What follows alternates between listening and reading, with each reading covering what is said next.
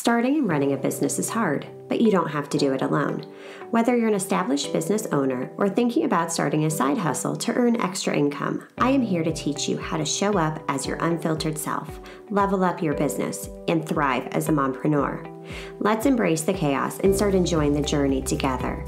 I'm Amy Traugh, and you're listening to the Motivated Mompreneur Podcast.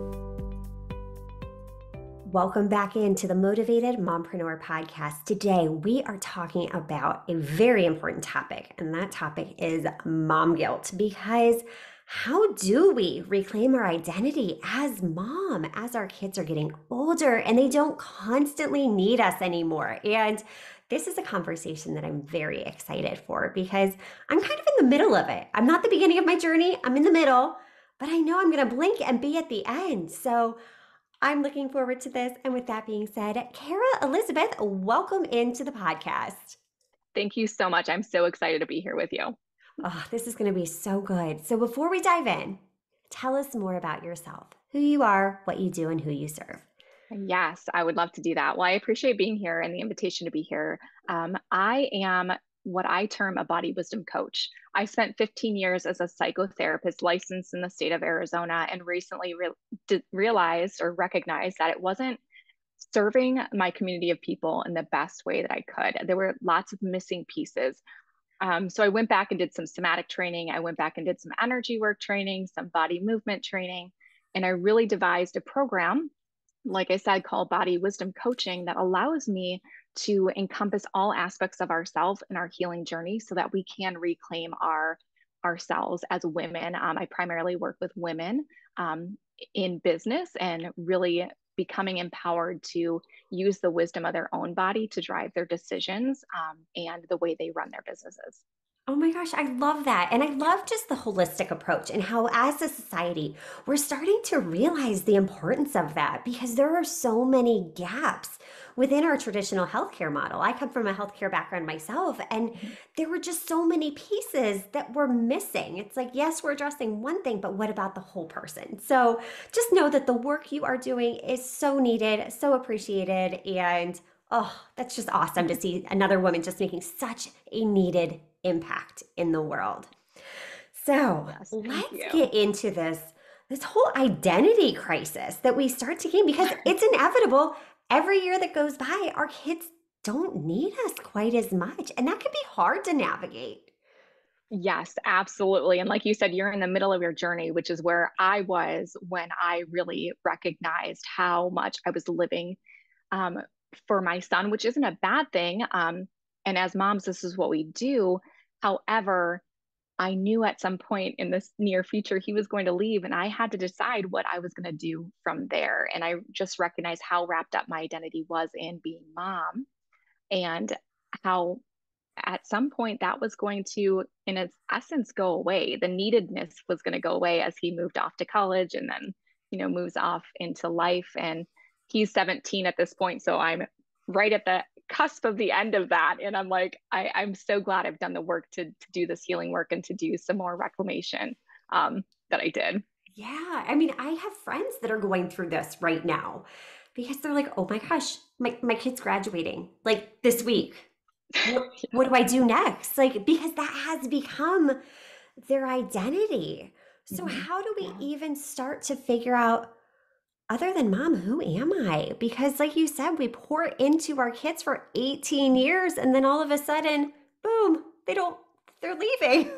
Yes, yes, absolutely. And and that's a that's basically where we do start is was just asking ourselves that question of like, I am mom and I'm not I'm not a bad mom for asking myself this question, but who else am I? Like who what else do I enjoy doing? What do I enjoy doing for me that isn't about caring for another person's needs.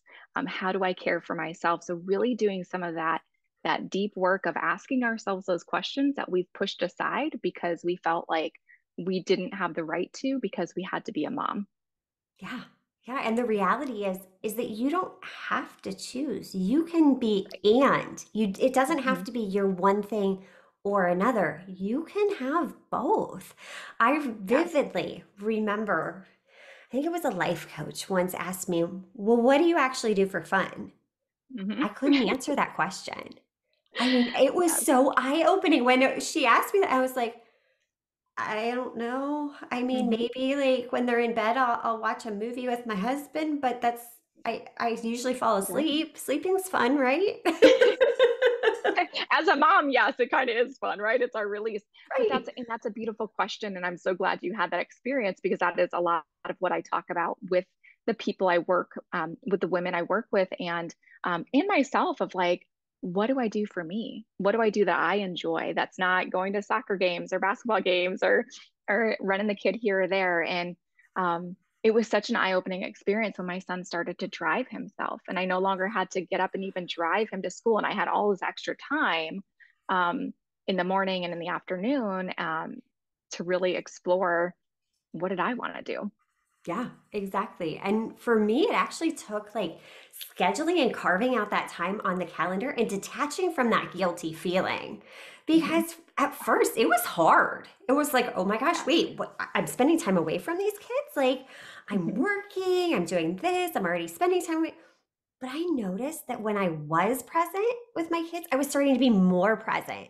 I wasn't just trying to run a business and raise my kids. It was like, okay, we can we can do both. Let's just go in all in on both. When I'm a Mhm. mom, I want to be mom fully. When I'm running the business, I want to be running that fully. And you can do both successfully. And I think that's just a narrative that we've gotten so wrapped up in. Yeah, absolutely. And it takes really looking into those rules. I'll call them like the mom rules and where they stem from because they tend to be such intergenerational and just such um, you know, we'll call it generational trauma as well as just societal trauma of like what we learned it meant to be mom. Um, and how we continue to play out that role, even if it doesn't work for us, even if it doesn't fit. Because I noticed the same thing too, as I had so much guilt when I was devoting time to my business, to to growing my practice, um, to to even being in school. I found out I was pregnant and I got into grad school the same week. So uh, like I it, this this journey at me started early. Like I made the decision to still go to grad school. I made the decision to still pursue my career, and a lot of people didn't agree with that decision. Um, but I knew that I had a goal for myself and that didn't make me a bad mom because I continued to pursue my goal for myself. And it's been great. It's allowed me to provide for my son. It's allowed me to to support other women in such expansive ways that had I chosen not to continue to pursue my dream or to put that off until my son was older, I wouldn't be in the place that I am right now.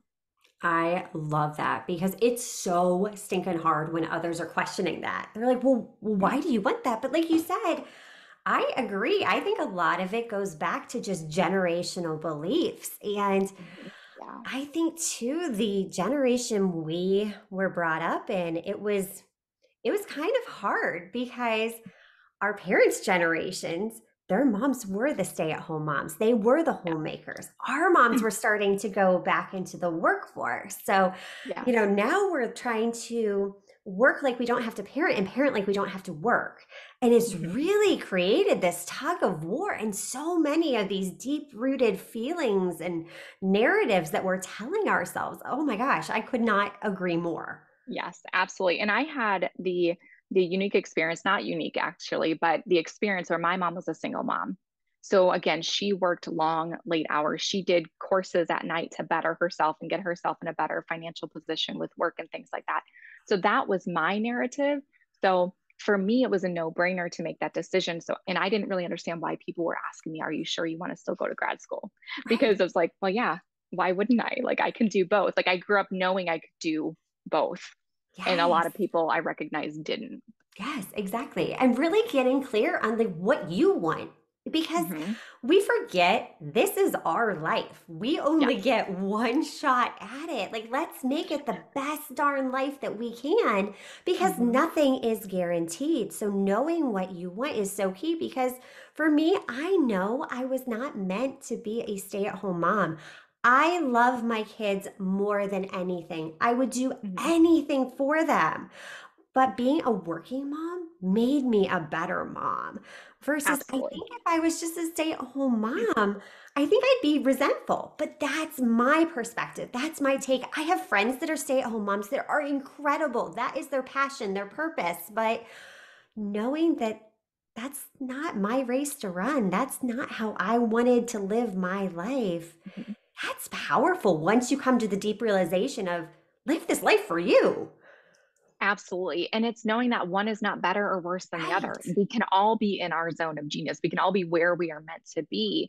And it's beautiful because when we are in that space, it gets to be so much more um, amazing for for everybody involved. Like you said, and I feel the same way. I can be more present with my son when I'm also working. Like when I'm when I'm at work, I'm present with work. When I'm with my son, I'm present with my son because I'm not thinking about everything else I need to do because I have things um, in that way that's the energy i bring into that um, and it's and it's so powerful and just knowing that in doing that we're also role modeling to our children that they can they can still be who they want to be and do what they want to do and be good parents or and be good partners or whatever that and like you said before it's not a either or it's a both and Yes. And role modeling, the power of that is just so transformative because Mhm. even with little kids, they're always watching.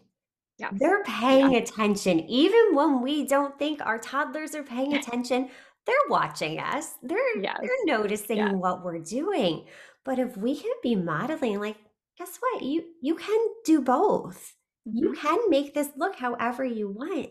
That's a beautiful thing. And we're teaching them that it's okay to celebrate each other's differences instead of competing hmm with one another, instead of being like, oh no, the only route you can do is you have to grow up and then be a stay at home mom, or no, you have to go to college, you have to work, this is what you're meant to do.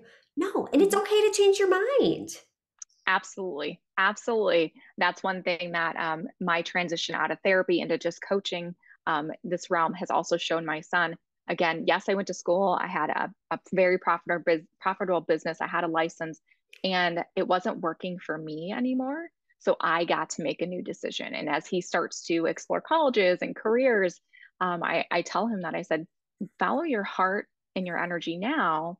And if something changes later on, that's okay Yeah. there's no I, I don't regret my decision um, to leave my practice i don't regret my decision to go to school or to get a license or to have a practice like all of that led me to where i am today and it's it's all just part of our journeys Exactly. And just embracing that journey because absolutely, that's exactly where I was. You know, I had family members coming up to me when I decided to go all in on my business. They're like, Mhm.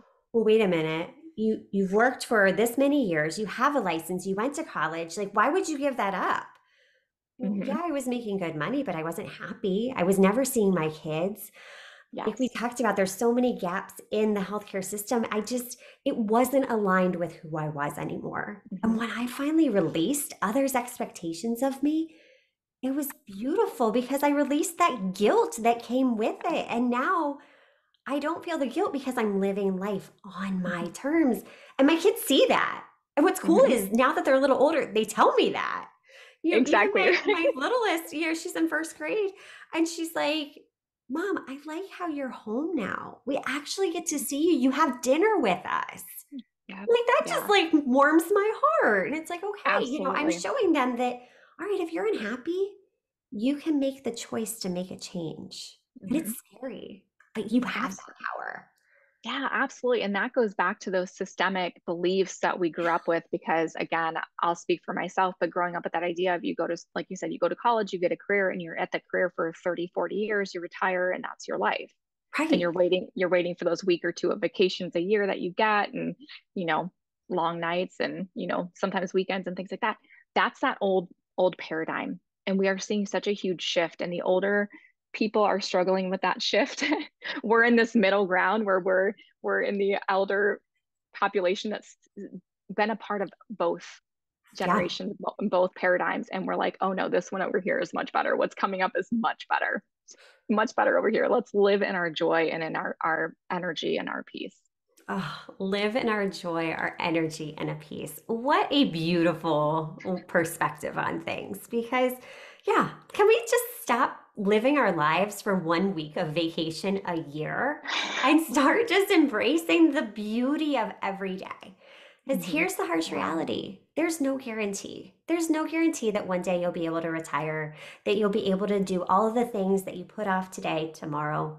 live life today because you only get one chance at it. So embrace Absolutely. that journey, mamas. And oh, this was such a great conversation, Carah. Absolutely. Oh, I loved it. yeah, me too. And again, when we can live in this now, we can be with our kids and we can right. see the days and their their growth and that's that's the memories that are unforgettable. Exactly. And by having conversations like this more and more and normalizing this train of thought, mm-hmm. we do start to change the narrative. And that's powerful for future generations yeah. that we're raising. So, Carah, thank you absolutely, so much for taking absolutely. time out of your busy schedule to pour into our listeners. Where can we get into your world and learn more? Yes, absolutely. Again, thank you. It was such a pleasure to be here. Um, you can find me most uh, most regularly on Instagram. It's carrah.elizabeth, and I know you'll link that in the show notes as well, um, as well as on my website, which is carahelizabeth.com. Well, that's where you can find all of my offerings for for working with me, coaching with me one on one, or in group settings, or even my retreats that I host as well. Oh my gosh, you guys, make sure you get into Carah's world. And again, thank you so much for this valuable conversation. Oh, thank you so much, Amy. And until next time, stop dreaming and start taking messy action. You've got this. Are you loving what you're hearing? Do us a favor and hit that subscribe button so you don't miss an episode.